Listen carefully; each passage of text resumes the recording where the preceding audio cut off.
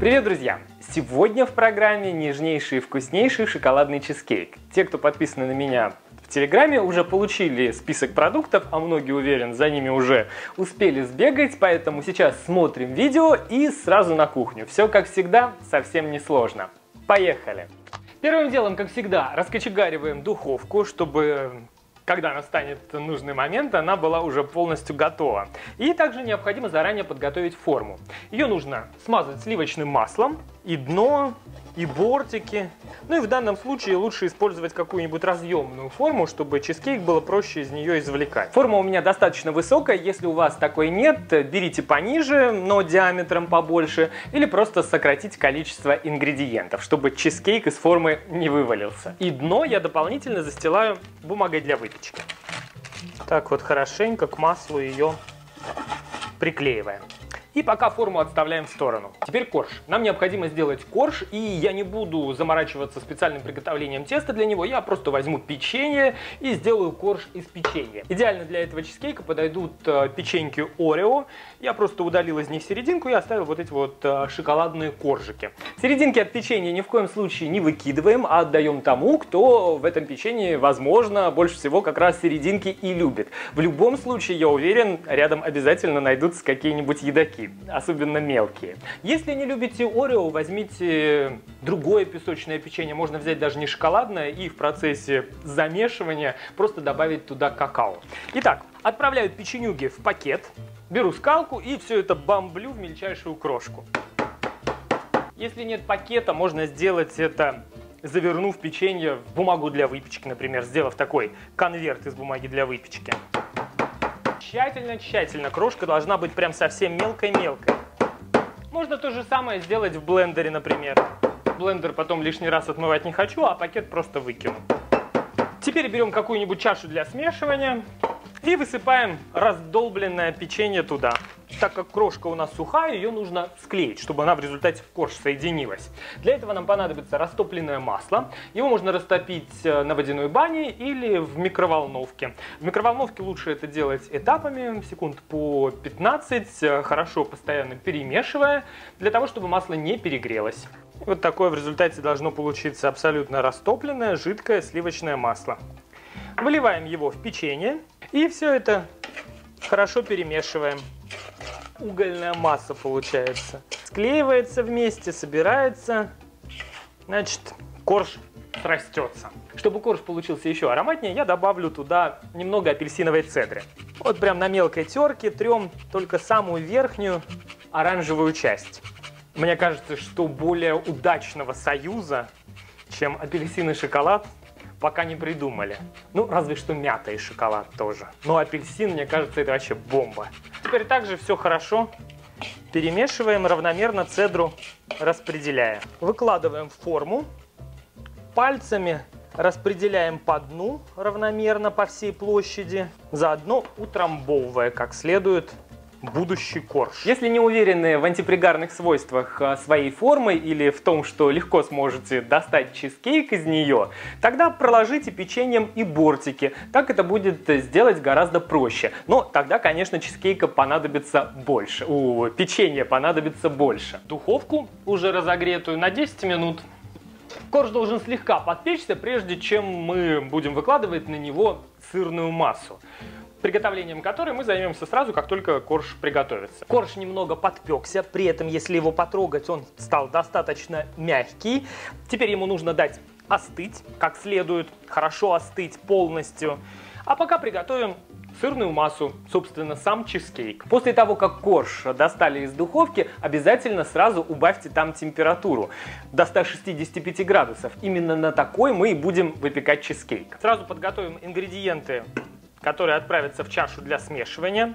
Нам необходим сливочный сыр. Он должен быть комнатной температуры, то есть нужно достать его из холодильника заранее. Туда же сметану. Опять же, сметана должна быть обязательно комнатной температуры. Также заранее из холодильника нужно достать и яйца. Но сразу в чашу добавлять их не будем, их время настанет потом. Сахарную пудру и какао предварительно смешиваем вместе. Туда же добавляем щепотку молотого кардамона. Кардамон можно легко заменить молотым имбирем, и вообще тут э, можно экспериментировать и время от времени добавлять э, разные пряности, так или иначе сочетающиеся с шоколадом. Так вы будете получать э, постоянно какие-то новые оттенки во вкусе. Смешиваем вместе с помощью венчика, прежде всего для того, чтобы разбить все комочки, чтобы в результате сухой смеси было проще интегрироваться в сыр. И вот все хорошо смешав, отправляем к сыру. Туда же по желанию можно добавить немного апельсинового сока. И, конечно, ну куда я без него, мой любимый ванильный экстракт. Эти ингредиенты у нас готовы для смешивания. Но смешивать начнем их чуть позже. Просто, как я уже сказал, чтобы потом не терять время на подготовку. Теперь нам необходимо растопить шоколад. Шоколад обязательно берите хороший, вкусный, который любите. С невкусным шоколадом получится и чизкейк соответственный, невкусный. Шоколад я ломаю сразу на мелкие кусочки, чтобы его проще было растопить. Я беру шоколад с содержанием какао не менее 70%. Можете брать молочный шоколад, но тогда скорректируйте количество сахара, чтобы чизкейк не получился слишком сладким. Иначе попор слипнется. Можно брать шоколад с какими-то вкусовыми добавками. С тем же апельсином, с мятой или с перцем чили. В зависимости от того, какой шоколад добавите, такой оттенок во вкусе в результате получите, само собой. Так, шоколад я поломал на мелкие кусочки. И теперь необходимо растопить его. Можно сделать это в микроволновке или на водяной бане. Я буду растапливать на водяной бане. Вода ни в коем случае не должна сильно кипеть.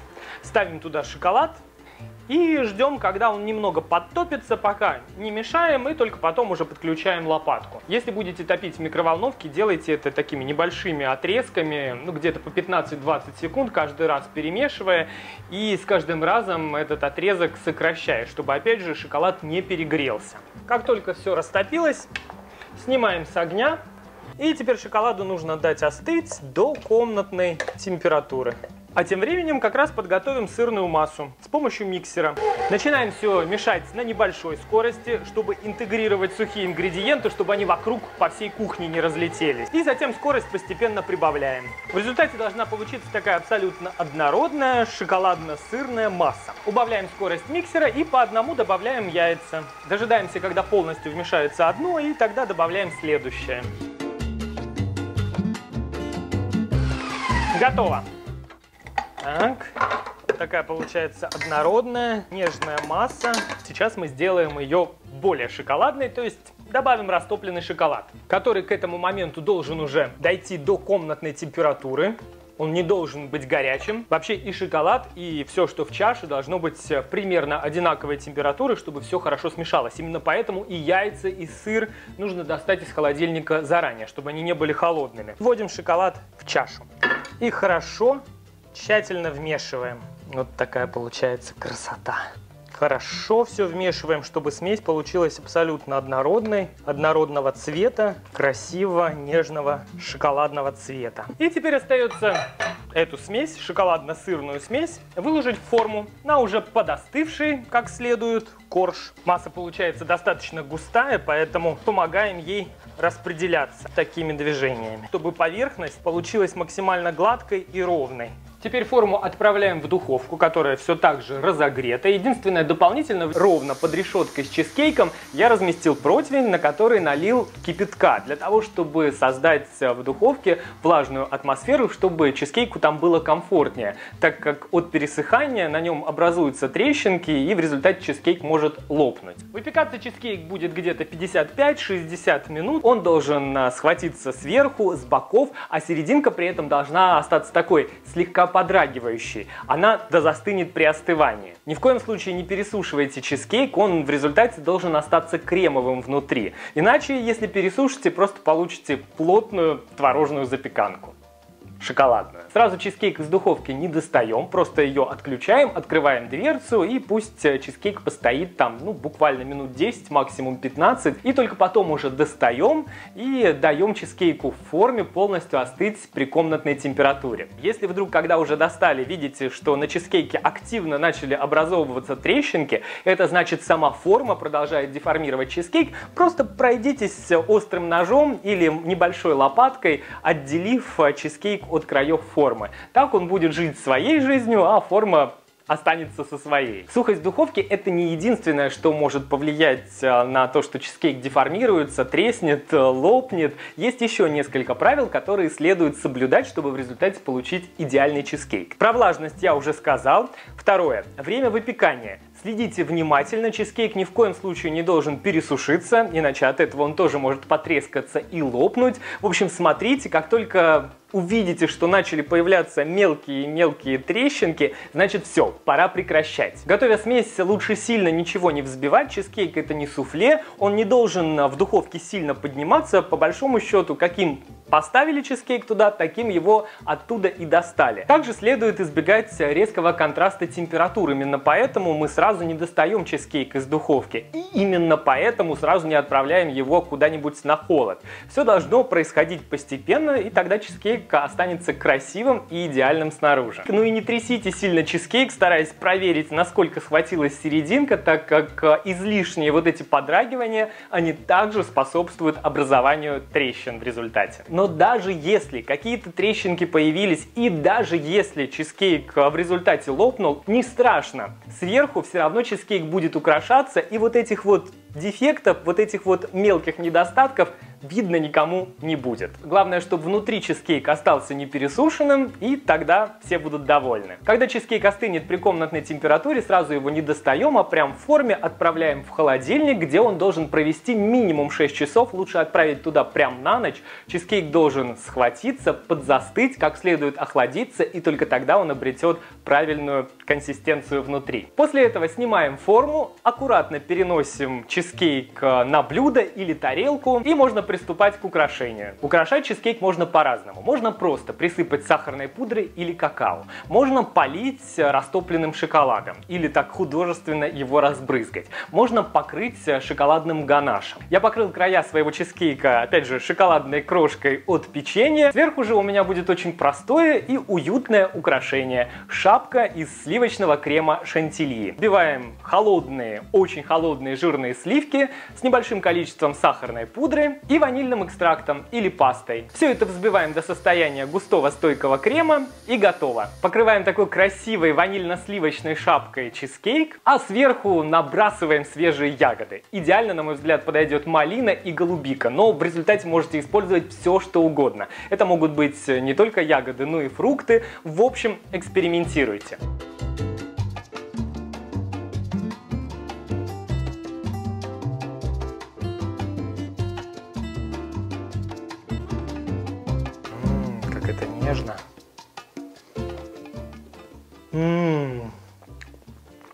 Как это вкусно.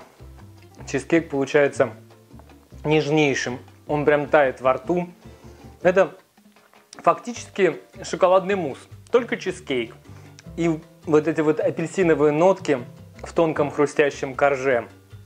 И вот этот вот баланс крема шантильи сверху, свежие ягоды. Это прям все идеально. Срочно нужно делать. Подробный рецепт вас ждет в блоге и в Телеграме. В последнем вас в последнее время, как всегда, ждет рецепт э, с удобными пошаговыми видео. Кстати, в Телеграме нас уже собралось почти 4000, чуть-чуть осталось добить и сразу устроим прямую трансляцию с ответами на вопросы. В общем, если вы еще не там, срочно пройдите куда следует и подпишитесь. Ссылочки найдете также в описании под видео. Там же список ингредиентов, там же под видео жду ваши лайки, если видео вам понравилось и хочется, чтобы быстрее появилось следующее. Пишите комментарии, постите то, что приготовили по моим рецептам в инстаграме. В общем, все как всегда. Скоро увидимся снова на моей кухне. С вами был Саша Cooking Time. Пока-пока.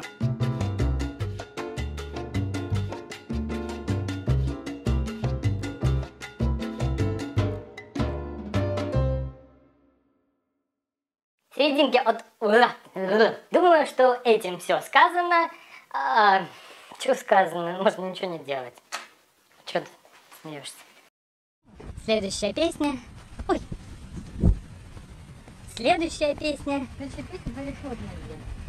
Мамочка, мама, прости, дорогая, что дочку воровку на свет родила. А, с вором ходила, а вора любила.